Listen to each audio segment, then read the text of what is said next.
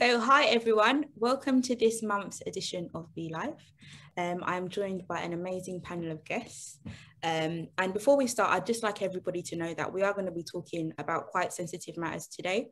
Um, so, we're going to be looking at maternal health and Black women, um, and there may be quite some stories which may be quite traumatic um, or may trigger some people. So, um, my colleague, my, my colleague, I think we've got some somewhere. Sorry. Yeah, so my colleague Alex will be putting some links in the chat where people can get support.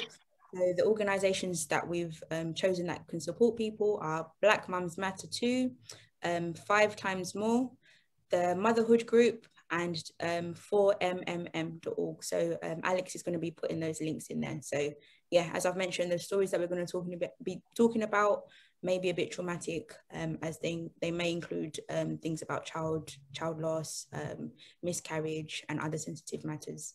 Um, but yeah, so let's get started. So let me get the to the panel to introduce themselves. So first I'll get my friend Nichelle to introduce herself. Hi, my name's Nichelle and I'm a midwife at one of the London NHS trusts. Oh, thank you. Um, and Rebecca. Hi, uh, I'm Rebecca and I work for a charity called um, Positively UK. Uh, it's an HIV charity and I also um, co-direct the 4M Mentor Mothers Network CIC. And Kemi. Hi everybody, I'm also a midwife and working in London's hospitals.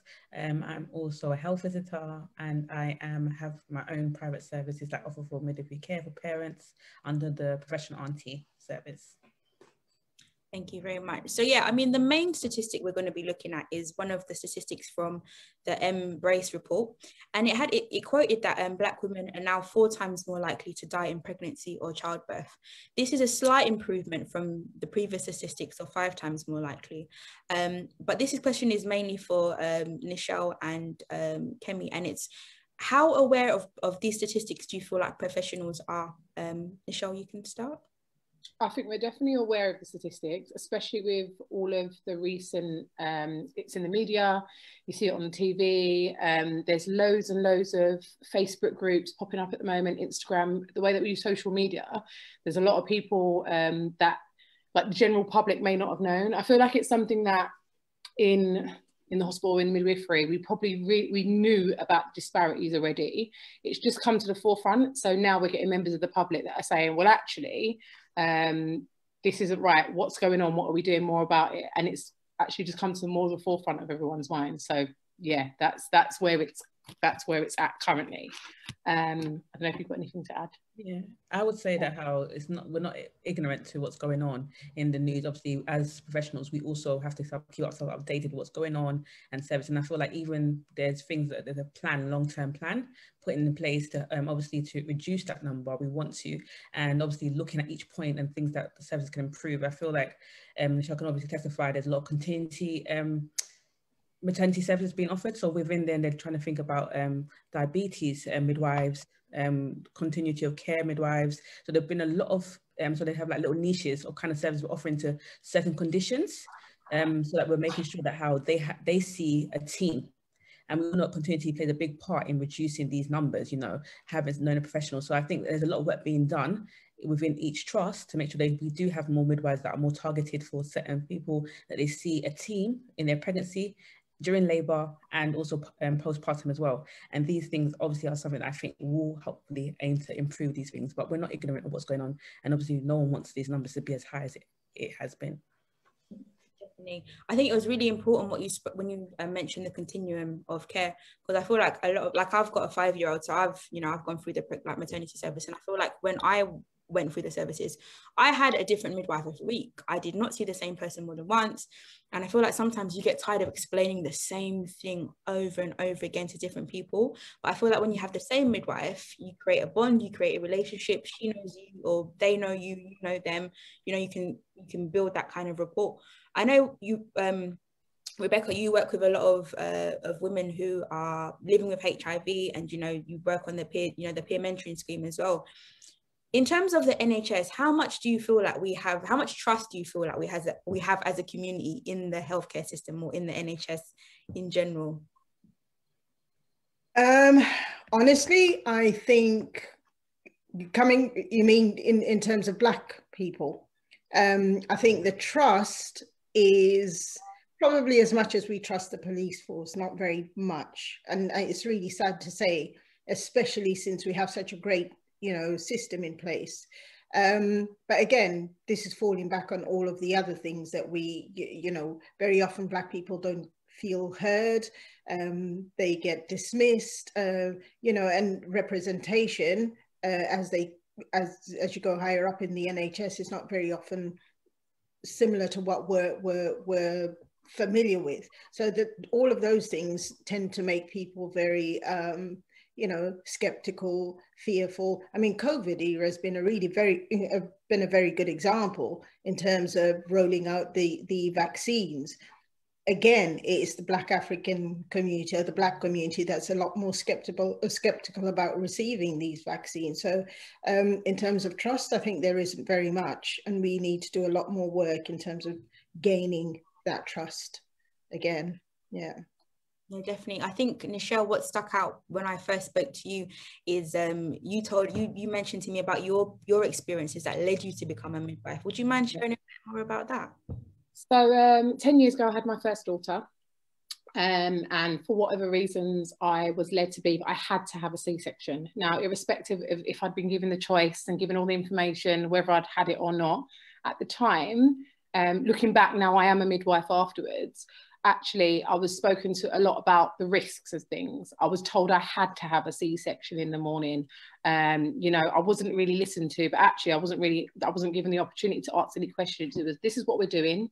This are the reasons why you're doing it. Sign here on the line. We'll see you in the morning. Things were seen to me as like an emergency, but then they left me to the morning to have this cesarean section. Um, that after a, little while, that led me to thinking, do you know what? I want to be a midwife. I want to be the change. I want to make women feel like they're going to be listened to.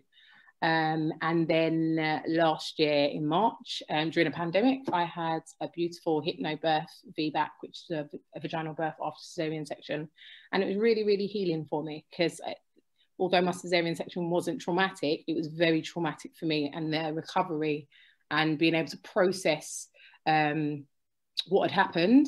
Um, it took quite a few years, um, if I'm being quite honest. So yeah, so I wanted to be that change and I wanted to be that voice. Um, and that's what I'm trying to do. no, fantastic. No, I, I totally agree in terms of um, seeing more faces similar to us in um, in, in in those environments. Like I, I literally just had a conversation today with my auntie, and she was explaining to me how she had her last child. I think it was maybe 15 years ago, and um, being a, a, an immigrant from Africa, her experience of having a child in Africa was totally different to an experience of having a child here. And she was explaining she had a C-section and she was offered um, a general anesthetic, and she said she was not offered an epidural, she was not offered any other pain relief, and it's just when a Nigerian midwife happened to walk past and saw her in so much pain, she said to her, Oh, there's gas and air in here. Oh, there's these options. But she was never ever given you know that information and it's scary to think that even though this was 15 years ago mm. people are still having similar experiences in 2021 you know what i mean it's, yeah. it's scary Kemi, do you have anything else to add about the the trust that we have with the nhs i feel like nothing spreads more within the black community than word of mouth first of all. So I think the biggest thing amongst black people is when you have a bad experience, you spread, you know. So some people, someone's got a bad experience, the trust has been gone from people like yourself, you know, myself, even as a midwife, I had I didn't have a great experience myself. Um, and it was I wasn't listened to. I could have had my baby in a water birth or something like this before, but because I wasn't listening to that, I was dilating because of my first pregnancy, even though I was a midwife. And my mom was like, she's a midwife, but I didn't want to be, you know, over, you know, these things like, okay, maybe I wasn't, but I went from zero, I progressed, you know, very quickly in my labor. And I was told, you can't be, you were zero centimeters. So I was taken to the antenatal ward, even though they want me to go home. And I said, no, wards are gone, I want to stay. And the only reason they let me stay, because obviously they said, okay, she's a midwife, let's see. Within an hour, I had my son. And I wanted a water birth. So these are things, like sometimes it doesn't, some people think, oh, you, you it's just not being listened to. That aspect of not being listened to and knowing even when you know things you have to really advocate for yourself so i think trust within um, our community is when we haven't had the good experiences, um, we really do have like a trust because we've been like, I did try this, they didn't listen to me, and I'm now I'm gonna have to put up, do more to make sure I'm heard. So, and like that, these are the reasons why myself and like within our people are coming into this role or even really trying to speak up for ourselves to make sure that we are heard and that there is experiences within the NHS services, within our community to change that so that trust does improve. Yeah, no, totally. I totally agree. When I was researching for this topic, I read a study um, from America and they'd asked I think they were medical students. Um, so this was from the University of Virginia in 2016. And some of the stereotypes um, that had come from these conversations. So they asked um, medical students about, so they gave them scenarios. So they gave scenarios with sort of like a black person and a white person. And they had beliefs from the, the study, they found that they had beliefs that black people experienced pain differently from white yeah. people, which yeah, we I still hear it. Yeah. You know what I mean? It's bizarre to think about these things in this day and age. Do you feel like this has an impact on, on people's experiences in healthcare now? A thousand percent. like as a mid like it's really, really difficult, but you have to call it out. That's the only way that on the shop floor that we're gonna move forward. So you hear that look at her, their big childbearing hips. That's one that you'll hear probably in your own house. Like we all, we've all heard it in and around actually what you look like on the outside has nothing to do with how you're going to birth your baby nothing at all um you know oh my god look at you're so big and strong you don't need to have that epidural being big strong short tall has no bearing on us withholding pain relief from our women um, so yeah, it's just calling it out with, with, colleagues or, you know, you're hearing something that's not quite right. It's just saying why you think it doesn't have to be confrontational, but it's to get people and everybody else thinking like how I'm thinking or how I'm trying to think um, and say, well, why are you saying that? And it makes them think, hold on, why am, uh, yeah, yeah, it's about calling out those types of things. Um, but yeah, we, we, we, I hear it. I hear it quite a lot. It's my bugbear. that, yeah, we're stronger um, you know, um, just because of the colour of our skin, um, we should be able to take the pain. You know, I've heard all, I've heard it all. Yeah, it's quite frustrating, but. Yeah, yeah, definitely. Um, yeah, Rebecca, I saw you nodding your head a bit there. I'm guessing you've maybe come across such things. Um, quite a lot, and and and it's really, you know, it just it just adds to what we were talking about earlier about the mistrust, it just adds to that all the time. Um, women come away with really bad experiences. And, you know, um, I've heard that, I've read somewhere actually as well, that the assumption is we have thicker skin or therefore our, our nerve endings um, are slight uh, are not as sensitive. Uh, and you're and you're thinking where where do they get these assumptions you know? I mean underneath the skin color it's the same same sort of anatomy. So it makes you wonder you know uh, particularly if it's within healthcare professionals because you're wondering what you're learning the same the same thing as as niche niche sorry or, or you know Kemi. So why is it different? And it is, it's really frustrating. No, definitely, Kemi. I'm guessing you've you've everyone nodded when I asked this question. Everyone this, so yeah, yeah. And I'm definitely going to give niche here because with that the funny I laugh because obviously the childbearing hips is the common thing you hear on the shop floor or you know mm-hmm. and how someone looks um but it's sad because they'll tell you stud there's actually studies that will tell they will say there's studies that show you them this I'm like there's no studies that say it's you know this is what they're going to be and funny enough, I feel like, especially not to say um, the older generation of midwives, even within the Black community, have been so ingrained with what they've been having, like a it's like a like a social um, consensus of certain things. Even like me said, you have to call out even our Black counterparts on certain beliefs they have. And so, um, as we're saying this, it's like how we're treated is also treated by our own um, counterparts ourselves how they even see ourselves. So even that narrative within ourselves and our own community and changing, especially with older generations, you know, obviously we know more when you come in new. I'm not saying all, but I'm saying sometimes we have to change the generation, change the culture, because even some of them are coming with their own cultural beliefs into the actual um, care we give. And that can't be how we treat people. And something that you're stronger, you're the pain, don't, you know, don't, you don't, you don't need to shout. That's a big one. You don't need to shout, yeah. oh, that's how to pain So if she wants to shout, save India, and I feel like that's that takes away from that woman a moment in time. If that's how she wants to express her pain, or obviously and, and, offer her support in that time, I don't think no one should be telling anyone that you don't you don't need to shout. She's not she's she's over exaggerating her pain. you know, and letting people think that her because she's a black person or ethnic minority that she basically she'll deal with the pain better. Mm. And these are all things I feel like how within our community as well.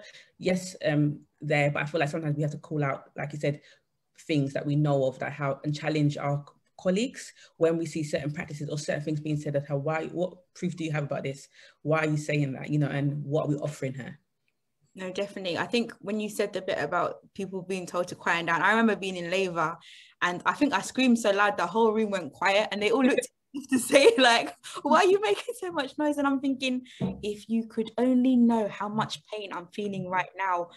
And i remember i'd always said i wanted an epidural but they tried everything to get me against epidural. And i'm like i know what i'm like with pain. Like i know. So this gas in there is not even touching the sides. The pills that you're giving me is not even touching the sides.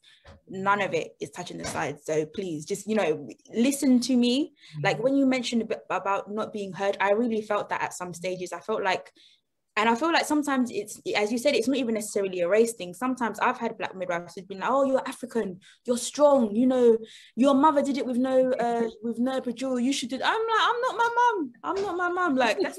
No, and even and even if you are a mum, who's to say that mum didn't feel the pain that yeah. she at the time and it wasn't recognized? Right. You know, it's that. You to who who are you to say that though?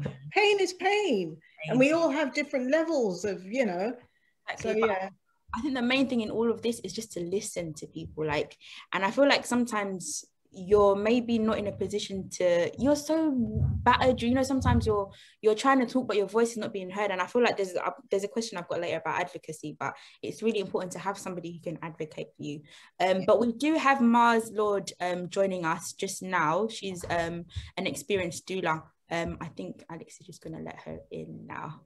So, hi, Mars, welcome. Hi, forgive me. I was busy doing something and I went, there was something this afternoon.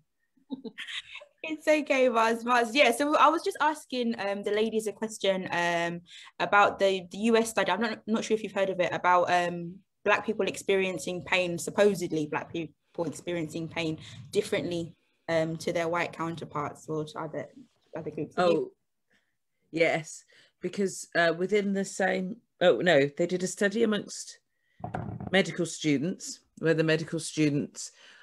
Um, oh, I've forgotten the percentages. Where the medical students said that yes, um, black people were much better at at pain, had higher pain levels, so therefore didn't need the same amount of analgesia.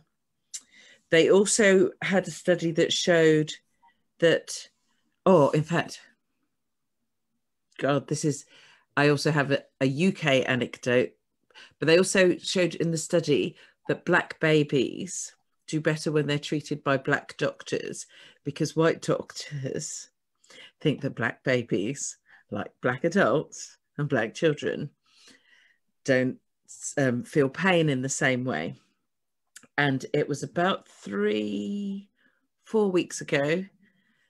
A comment dropped into my DMs because people are always sending me these things, and it was a nurse who was told that black babies didn't need analgesia because they're strong. That's in 2021 in the UK.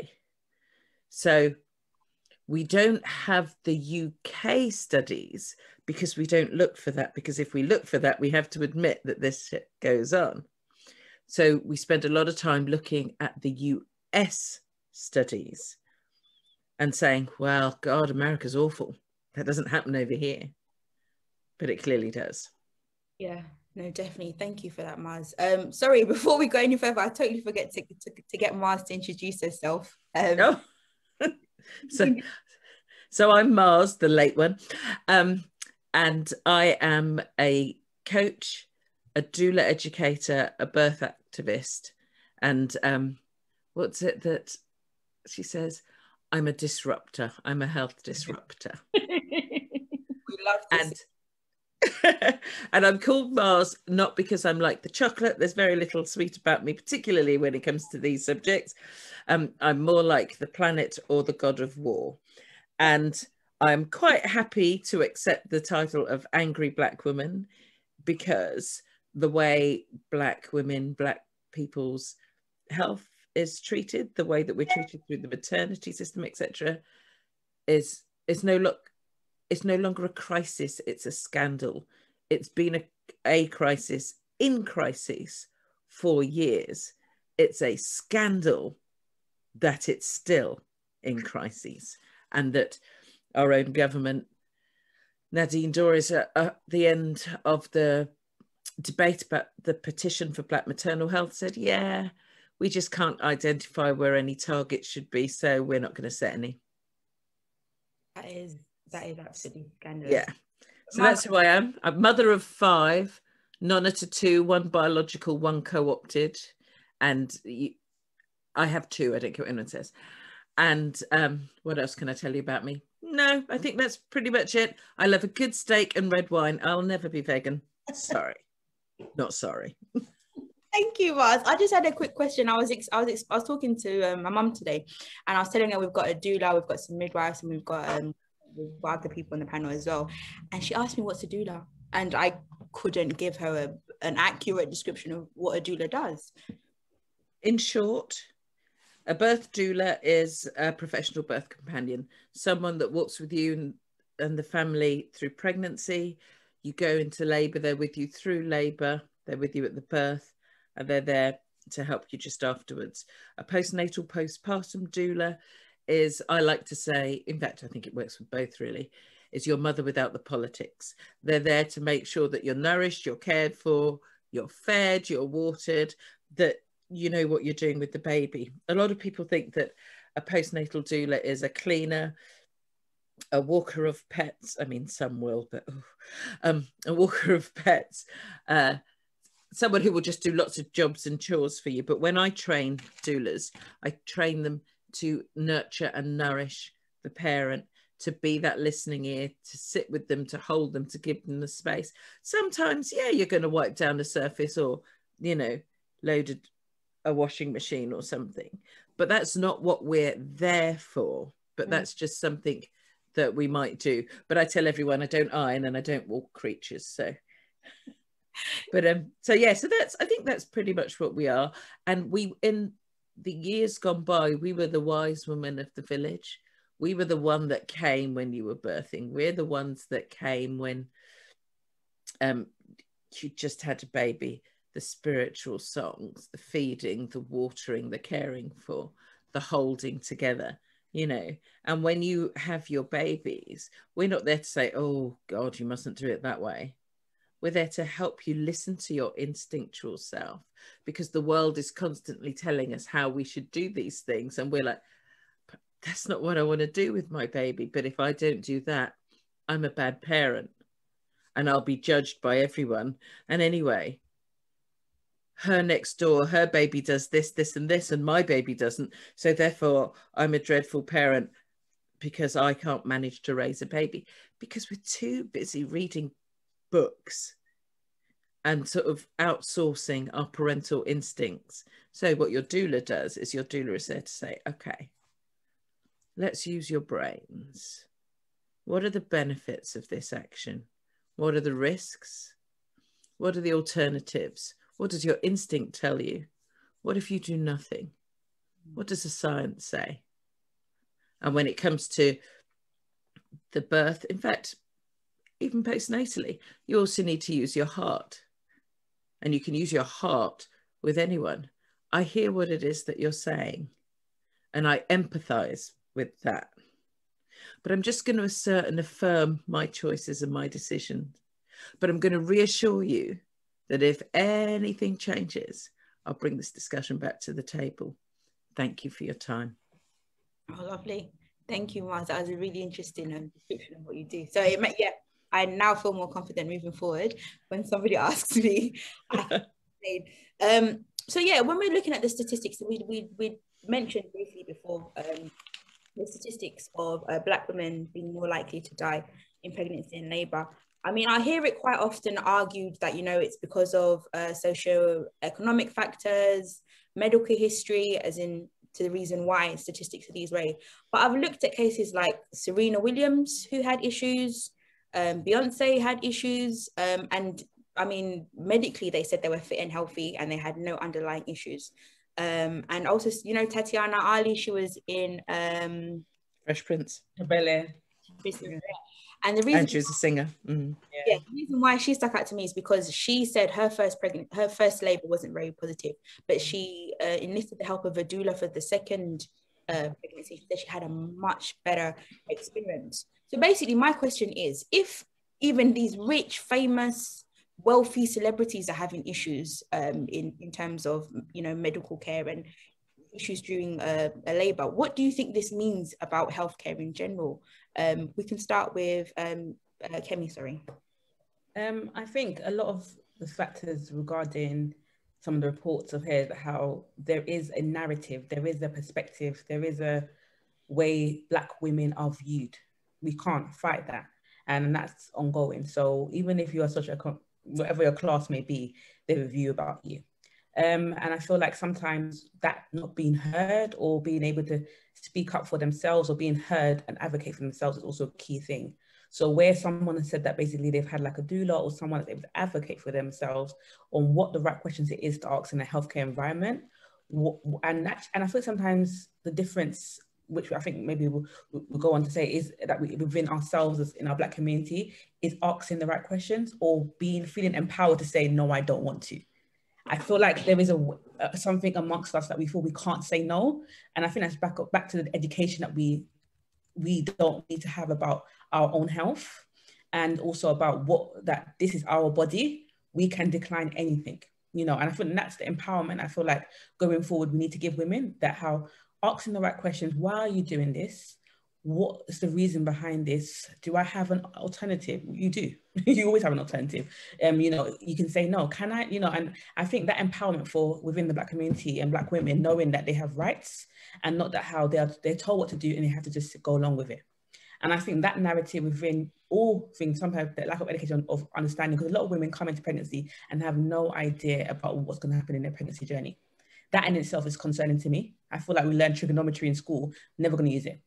Never ever. But you know um but this these key things about women in ourselves about our whole journey i think we really need is something that's been taught about you know your birth pregnancy you know these things i feel like are key fundamental life skills about yourself that a lot of women go by what their families told them and they think this you know and not real life what's happening. And these things are factors that basically how do you advocate for yourself if you don't know what to ask if you don't know what to expect so how does a, a woman advocate for herself if she has no education on what to expect or what to see she's trusting this person in front of her or what they're telling her.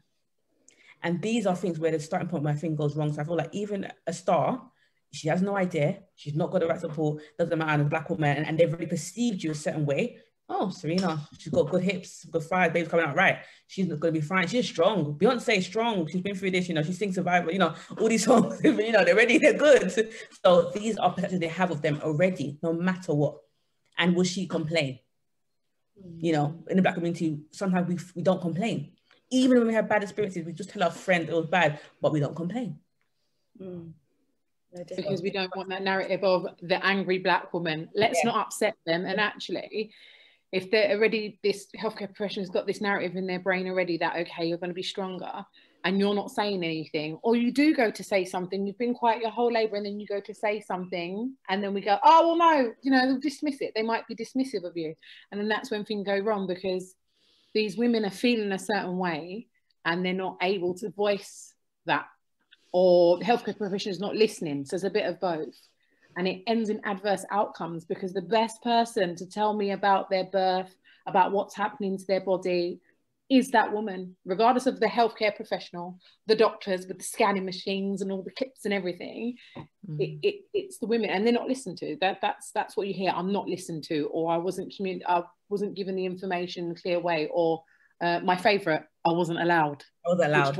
absolutely cra- you know, oh, and you always, as a midwife, as soon as I say, they say, what do you do? I go, a midwife. They go, oh, I've got a story. Everyone, everybody tells me their birth story is good or bad. Everybody. And generally the bad ones are always the ones that are going to floor me and they give me all the information and then they expect me to i don't know maybe help them or tell them what went wrong and i'm just like oh and they told me i wasn't allowed and i'm like you know from there you can't i can't really go anywhere so i totally agree with um kemi in terms of educating ourselves um other than what your mum told you other than what just your auntie told you and not ha- and sitting down and having these conversations with the women in your family, not as a throwaway comment.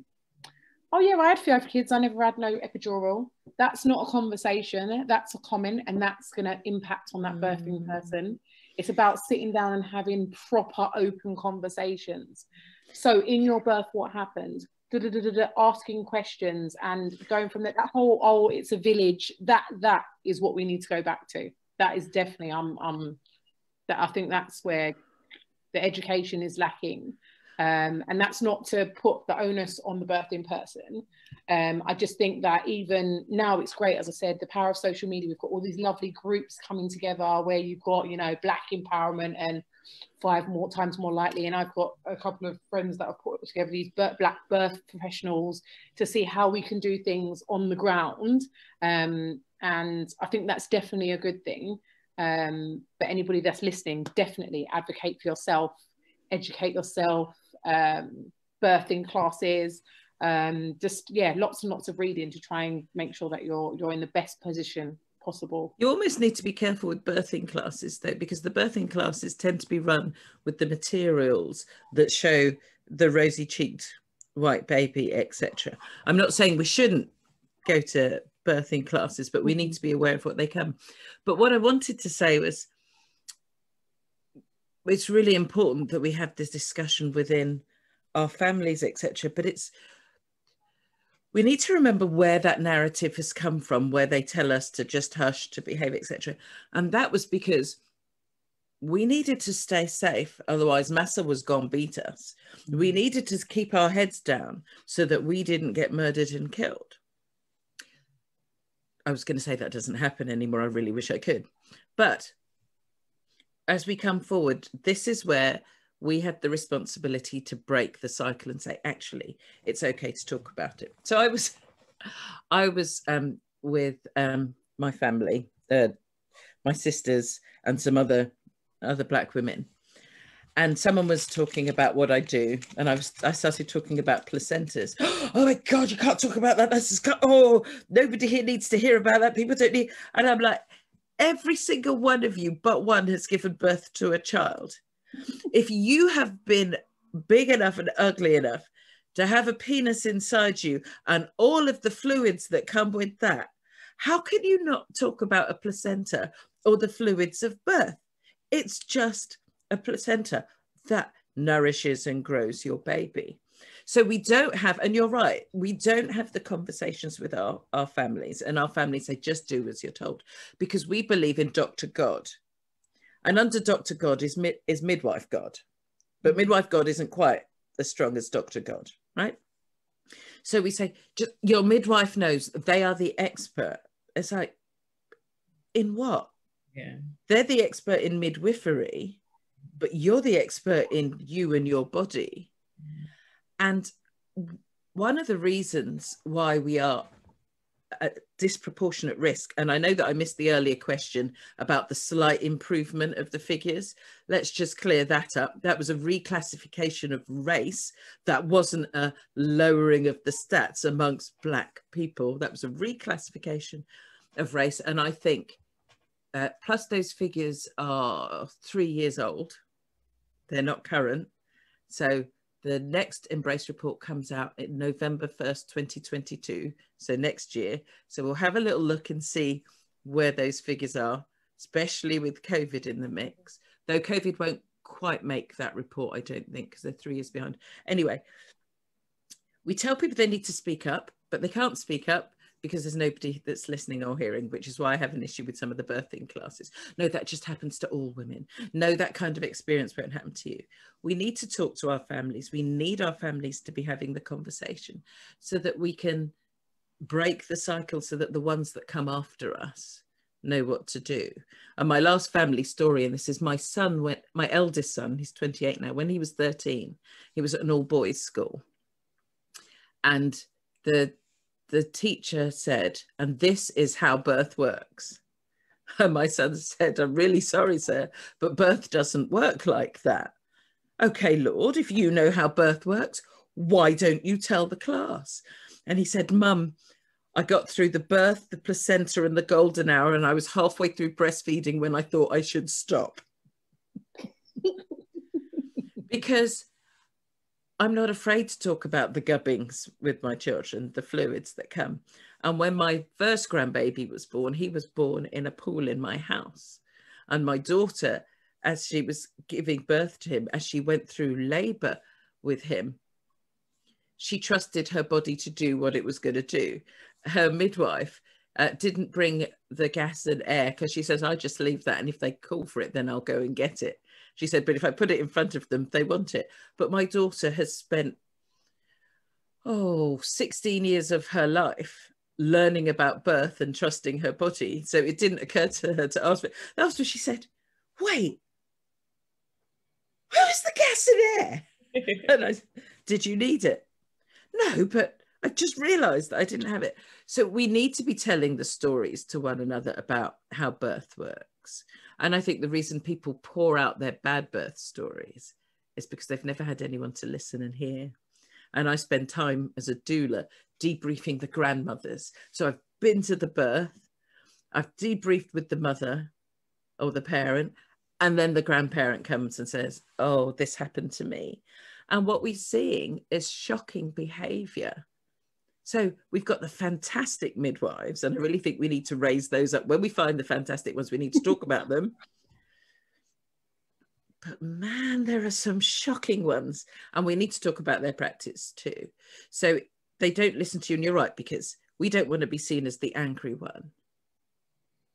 Our partners don't want to be the one that's told to be quiet or I'm calling security because you're being. Somebody says that stuff doesn't happen. Okay, let's deny my 16, 17 years doing this work and what I see and what people share and tell me. And so we say you have to advocate for yourself, but how do you advocate your, for yourself in a system when no one is willing to hear you? And what we need to change isn't what Black women and Black birthing people are doing we need to change the system that they're in. And that doesn't happen overnight. And when we talk about it, people get all up in themselves. You're calling me racist. So now I just start saying to people, that's anti Black behavior. when you say racism, that's racism. They, you're calling me racist. When you say that's anti Black behavior, they go, oh, so my friend has got me on a mission to tell everyone to say anti-black instead of racist. But yeah, so th- those are my thoughts. I have very many. Can you tell I'm making up for my my being late? It's like, let me give you all the information now. no, we love it, Mars. We love it, Mars. Um, but yeah, for I, I, I, don't think I've mentioned before, Mars. But yeah, Positive East is an organisation that works predominantly supporting people with um, and live and affected by HIV. Um, and mm. I love you, Rebecca. Here works for an organisation. Um, um, so I had a question for you, Rebecca. So when it comes to the women that you work with, do you how do you feel like their maternity pathway or their maternity journey was um, compared to those who are not living with HIV, for example? Well, what I think is in terms of the practicalities, so you know, going through their antenatal screening and whatever else, that perhaps is very similar to a woman not living with HIV. Where the differences come, obviously, is whether they are found to be diagnosed um, during antenatal, then there's that whole conversation about, listen, we have to talk about the fact that we've, um, your HIV test has come back positive. Then there are uh, issues with treatment. So if someone's not on treatment, they then need to be put on treatment to make sure that their viral load is undetectable by the time they are ready to deliver. If they are already, and we have a number of women that are already having their second, third child, while they're, you know, already living with HIV, um, it's making sure that the treatment that they're on, uh, which is very often um, you know, already in place anyway. Their viral load is undetectable, so that the chances of passing on the virus to the baby are very, very, um, you know, drastically reduced. And, and that works really, really well. I think then you've got after delivery, there are issues around breastfeeding. And now we've gotten to a point where uh, women can breastfeed if they're supported um, to do so safely. Now, this is where the challenge comes in, and a lot of women feel, feel they're not being heard. You, mm. you will get women that say, I would love to breastfeed, but they're, you know, based on the guidelines that are there at the moment, well, no. And this is again where we say information is really key, knowing your choices, knowing what it is you'd like, listening to your body, and then being able to negotiate that, you know, building your confidence, mm. or having somebody there so that you can negotiate that. Um, and it's not that they can't, it's, well, no, you, you know, because that's what the guidelines say, mm. no, it's not, it's not an option. It is if they're supported to do so safely. Mm. And that's what we need to be informing the women. The other thing that makes it slightly more difficult or different for women living with HIV is the stigma. It's the stigma within the healthcare professional settings, it's a stigma within families, um, you know, everything else. Why are you breastfeeding? I mean, we've moved on quite a lot, but there were times within, you know, the HIV journey where people were told, but you're HIV positive, you cannot have babies. Some mm. people were, you know, what, what do you call it when they're, it's not a hysterectomy, is it a hysterectomy? Forgive me. Yeah. yeah. So, you know, in some countries, unwillingly, yeah, they're sterilized.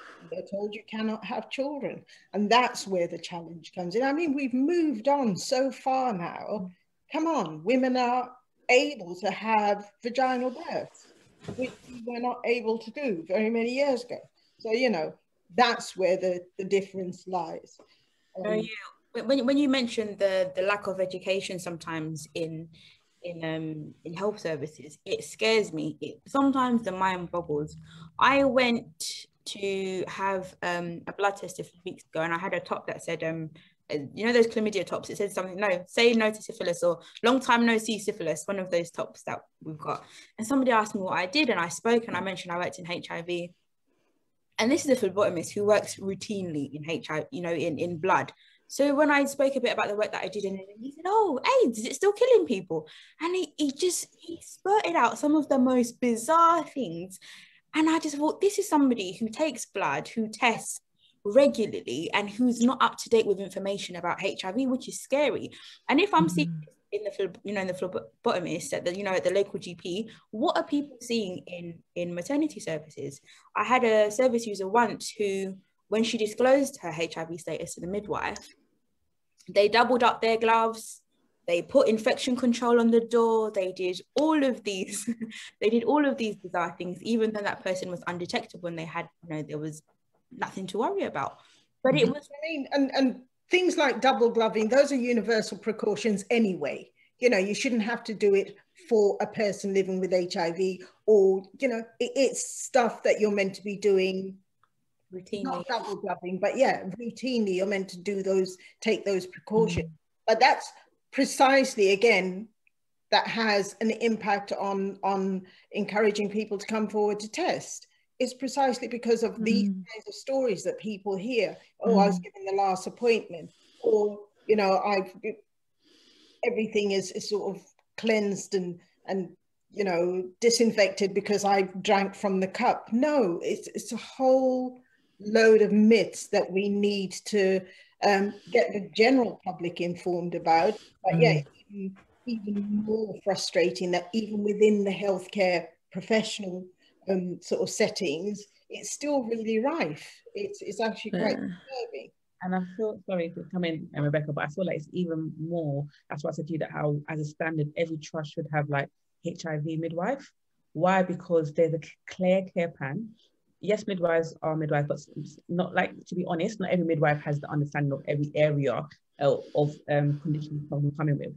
But there has to be a basic uh, knowledge there. But clear care plan, clear understanding for that woman what this now means for her being pregnant with this mm. condition. mm-hmm. um, and things of guidance that comes in. So I think antenatally, if she's given education, she can advocate for herself. Also, in during pregnancy, she can advocate labor. She can. It's clear. I've had many women come in with this. They come in clear, clear. Really, you know what to do for her.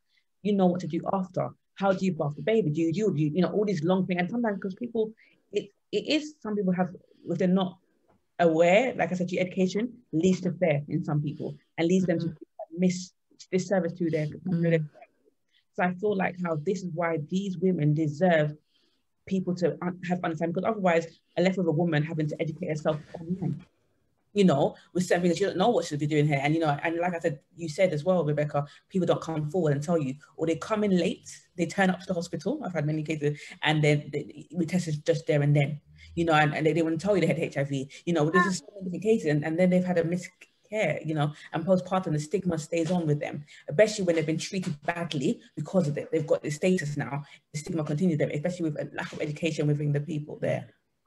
Well, it goes with the societal narrative, doesn't it? Right, right. Black black men are feckless, are feckless, pregnant, impregnate everyone and move on. Yeah. Black women just keep dropping babies like it's get. So we're just fecund.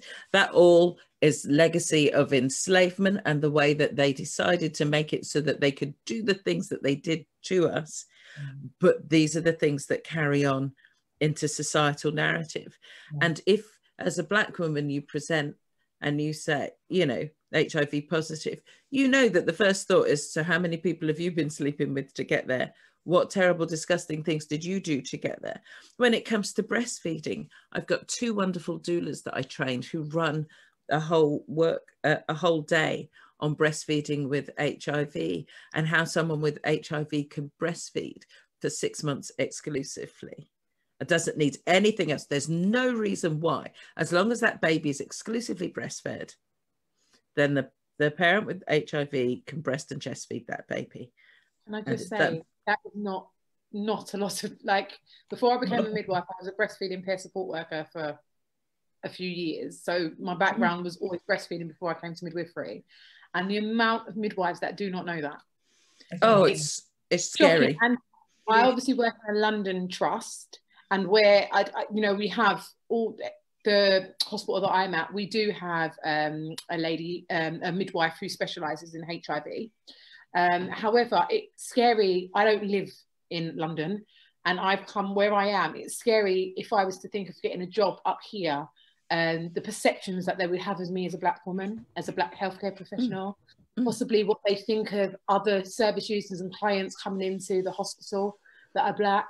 Um, and you know what the care would be like for a person that came and said yeah i'm hiv positive and i'm a black woman like what provisions would we have for them not in a if london trust isn't getting it 100% and they're still lacking to come out um you know where it's predominantly caucasians um mm. it, it, it is it's it's a little bit scary a little bit worrying i mean it's, it's it happens already that you know people that we know or that we're supporting living outside of london are having so many challenges in that area because yeah information is is old uh, or outdated and they have absolutely no idea.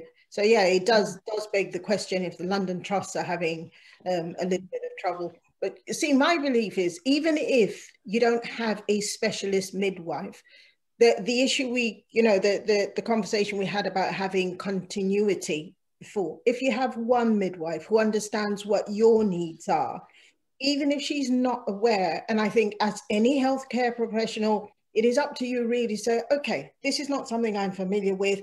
Can let me find out a bit more. Let me work with you. Where is it? You know, what can we do to make your experience better? You don't then just say, oh no, I'm not doing this, or that is not professionalism as far as I'm concerned. You know, do the job that you're supposed to be doing. If you're not aware of it, inform yourself. Try and get mm. more information. That's what your role is to support the person in front of you. If you don't have that information try and seek it out in, in a, you know from somewhere where it'll help that person. So yes. What's scary is in um, a lot of trusts because i run cultural competency training people say well only 3% only 2% only 1% of the population are black and brown bodied and so we asked them, okay, what does that mean in numbers, not in percentages, in numbers. So are you talking three people, 300 people, 3,000 people, 30,000 people? How many people is it acceptable to die because you don't need to pay attention to them because they are only 3% of a population? And when you get when you say it to people like that, they suddenly go, oh, because actually it's not acceptable that anyone yeah. dies because they have extra levels of melanin in their skin because they're perceived as black bodied and the societal narrative says well they're not worth much so we don't have to worry about them because we've got 97% of the people so there's no point in getting educated on how to do midwife means with woman doctors were originally known as male midwives with women, right? As we go through history and we come up, you have one job love people and walk with them through their journey. You're not supposed to sort of traumatize them and re traumatize them again. And if you want to talk about learning, what needs to be learned is Black women don't present with predispositions because they're pregnant. Until recently, the safest place to be a black woman was in your bed at home before you start to deal with the microaggressions of the day. Our sympathetic system is absolutely, darling. You tell them. Our sympathetic system is overloaded with stress and adrenaline and cortisol. Even when we're smiling and laughing and nothing bad has happened to us all day, all week, all month, all year you know so if we start to look at the way society mistreats black bodied people of course they're going to present with predispositions it's not that white women don't have obesity diabetes hypertension cardiac issues it's not that black women have them because they're black because we're the global majority not the global minority and if our bodies were as awful at giving birth as people say, then we would be the minority. And when it comes to HIV and the stigma that people have about HIV already, and then you add a layer of blackness, of course we're in trouble. Yeah, no, thank you for that, Mars. I'm just looking at the time and I've been so engrossed in this conversation, I did not realize so before we close, I'm going to go around to everyone and I've got three questions to ask just before we leave. Um, we've spoken about advocacy quite a few times. Um, so can you give any ways Black women can advocate for themselves? Can you mention any positive initiatives in the community? And where can we find you moving forward? Is anything you'd like to plug? Is anything you'd like us to check out? Uh, can we start with Nichelle? I know you're you got your hands full there. um, so in terms of um, advocating for yourself, it's just getting a really supportive birth partner, be that uh, your mum, um, your partner. Sometimes I sometimes find that sometimes it's, sorry, sometimes it's nice to have someone that's not your mum or birth partner. Some people feel more comfortable. It's got to be someone that you're comfortable with. It's got to be someone that is going to put your and communicate your wishes um, without um, when you're predisposed and in your zone. Um, so yeah, definitely get someone that can advocate for you. Make sure they know. I know some people are a bit funny about birth plans as well. I hear it all the time. They're put as negatives. A birth preferences. Make sure you you have an idea of how you'd like your birth to go. I know some people think they're not worth the paper that they're written on, but they're really really important. I think mm. it's really really important for me to physically see, especially if you're coming into me and I've never met you before. I don't want to come and keep disturbing you and disturbing your zone. So it's really good for me to see what you want from your delivery and what your preferences are. And I will try, we'll try and facilitate that as much as possible. Um, and yeah, so that's my advocating for yourself during birth. I'm sure everyone else will have stuff for antenatal and postnatal. Thank you, Rebecca. um, I mean, Niche has pretty much covered everything, but uh, I would like to sort of say to people, everyone, it's not up to black women to take time. Um, that's one thing. It's it's not our responsibility to shoulder everything. we have help, let's use it. And the other thing is, you know, be informed, read what you can, ask the questions that you need to know the answers to. Just really keep yourself informed because that will, in, will allow you to make informed choices. That will allow you to gain the confidence to negotiate for yourselves. Oh, you know, so for me, those mm. Key things that I, I would I would say. No, thank you. And is there anything you'd like to plug? Where can we find you if you want to, if there's any, you know, HIV and there's women or pregnant people, you know, living with HIV and they'd like to contact you? Um, yeah, so we have our website, which is in the chat. It's 4mmm.org. Uh, my name is Rebecca. Uh, yeah, please reach out, even if it's just questions, you know, about conception or, or during pregnancy or post pregnancy, yeah, just reach out and we'll see. We'd love to have a chat with you.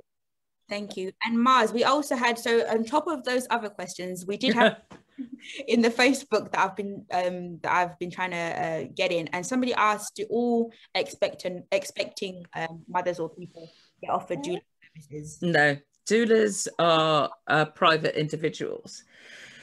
The NHS has had a couple of um, sort of attempts at bringing in doulas, but the doulas that have worked in hospitals have ended up becoming auxiliary staff and not doing what they're there for. If you're employed by the NHS, if you're employed by the trust, then you have to follow the trust guidelines and what the trust says, and you're no longer independent to um, to do the work that you're doing. Mm. Okay, thank you. And so the other question was, how can uh, Black women advocate for themselves? Are there any positive initiatives in the community that you'd like to mention? And where can we find you? I've I found you quite easy actually. When I was looking, That's because my mouth is big and I'm everywhere. um, so advocacy. So exactly as Nish said, and honestly, I don't know why people get upset with um, birth plans. You plan to go on a picnic, it rains, you change the plan. I mean, hello. Also, when I encourage people to make plans, make three plans, but all on one sheet. Plan A, how is it that you ideally want to birth? Plan B, what do you do when things don't go according to plan? Plan C, how do you want your cesarean to run? Really easy, all three. Biased, get a doula. Doulas, the prices go um, sort of across a huge range of budgets. There's neighborhood doulas who are a charity that help people that can't afford doulas to get doulas. But if you can buy yourself that top-notch pram that's going to last you three to six months, seriously, get yourself a spend the money on a doula who's with you throughout your pregnancy, the birth and post-birth.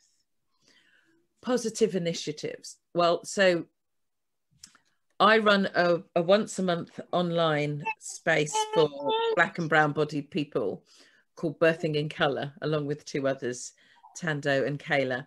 And we just, every month, we just talk about different things within the perinatal period from conception right through post, the postpartum. So that's a wonderful thing to look after. Black Mama Village, which is um, started by Lorna Phillip, who is Birmingham doula, is another initiative where you can get people together where we educate ourselves because we already know the solutions come from us, not from outside. Where can you find me? Well, you can Google my name, Mars Lord, or you can find me at Abuela, which is Spanish for grandmother, Abuela Doula. And I chose the name Abuela because I believe in bringing the wisdom of the grandmothers into modern day birth because we've lost the traditions and the cultures of our heritage in order to fit into the white patriarchal society. And then we wonder why we have problems when we're trying to be ourselves and raise and have our families. So Google Mars Lord, look at me up at marslord.co.uk or abueladoulas.com. Thank you. Um, I, I, I did also listen to you on I think it was Radio Four, Women's yes. Hour, and then I also tuned in and saw your lovely face on um, was it Panorama? Uh, Dispatches, the Black maternity scandal. Yeah. Mm-hmm. So no, I was really excited. So I saw those after um, somebody recommended you to to to talk on our panel, and thank you very much. Um, and last, I'm on lots of podcasts everywhere, so you can find me. Beautiful. We'll keep looking. Thanks. And last but not least, Kemi. Um, I think everyone said it all. Um, so definitely, I agree with the birth preferences. It's good to just be able to know what you want. Um, but like I said to people that how if you're even planning a pregnancy, start to educate yourself on what pregnancy looks like, um, label what it looks like, know what your options are.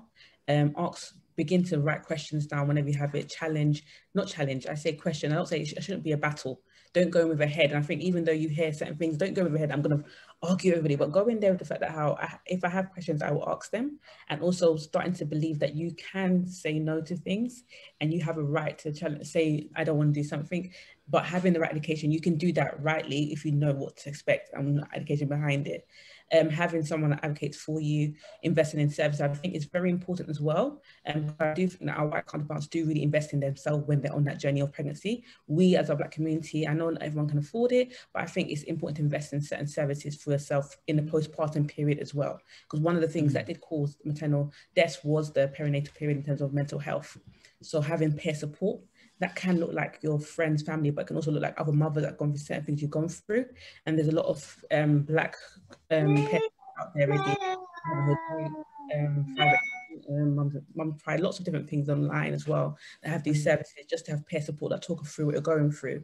Um, I offer um, lots of postpartum services myself within professional auntie. and midwife, but based on my own experiences, I understand the importance of continuity of care and having that extra person that understands what you're going through. And I think it's very important. So that's what I would say as positive initiatives. There's lots out there. Um, if you want to find myself, I'm at Professional Auntie, www.professionalauntie.co.uk, and I'm also accessible via email and Facebook, Professional Auntie. Very, very much, Kemi. Um, so yeah, I think there was one thing that was sent through to me. Um, and if you are living with HIV and you're going through the menopause, there a new series of creative writing workshops um, and it runs every Thursday um, between seven and half eight via Zoom. Um, I'm going to put the email contact in the, or Alex will put the email contact in the box. And it's um, sec, secon at nas.org.uk. Um, so I'll put that in the in the box if anybody is going through the menopause and would like to join a series of creating writing workshops. But thank you so, so, so much. I've had, um, I've learned a lot in this discussion. I'm sure the people watching have learned a lot as well. Um, we've had a lot of different, you know, we've laughed, we've felt a bit sad, we've gone through the whole range of emotions here, but this was a very, very wonderful, open and honest conversation. And I appreciate all of you taking your time out on a Saturday to come and have the discussion with us. And thank you very much, everyone. So until next time, thank you for tuning in to Bee Live and enjoy the rest of your weekend. Thank you. Pleasure.